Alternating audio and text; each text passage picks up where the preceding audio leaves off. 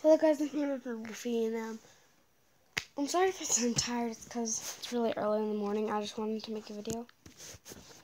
Because uh, I might not have time to make a lot of videos later. I don't know, I just deal with it. Okay, so this is how to do the rainbow lines and flip a clip. Yeah, um, I recently found out, and it's really easy actually.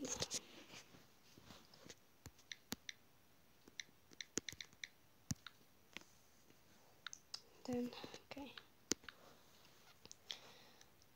So make a new layer. Make sure to keep it in the layer one though. Then make your background that color. You can do it in any color that you want. And go on this and do like a line of dark blue. Well whatever you want to do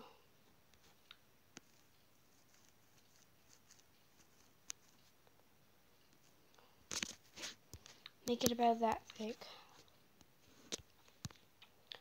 Then pink. Then on layer two, go white. Then you can go in eraser. And bam. Oh yeah, I forgot to do one thing.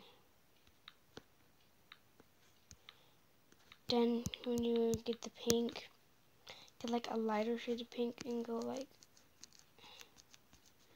that and then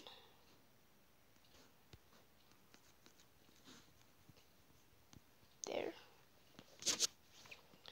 And then just make it white.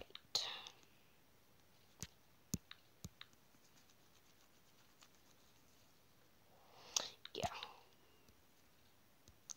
Then you can like draw on it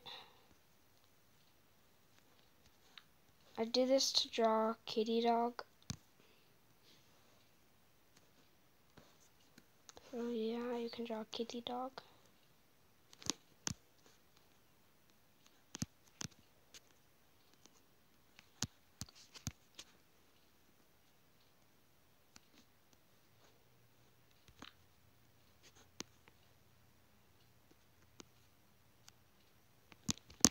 Yeah, bye guys.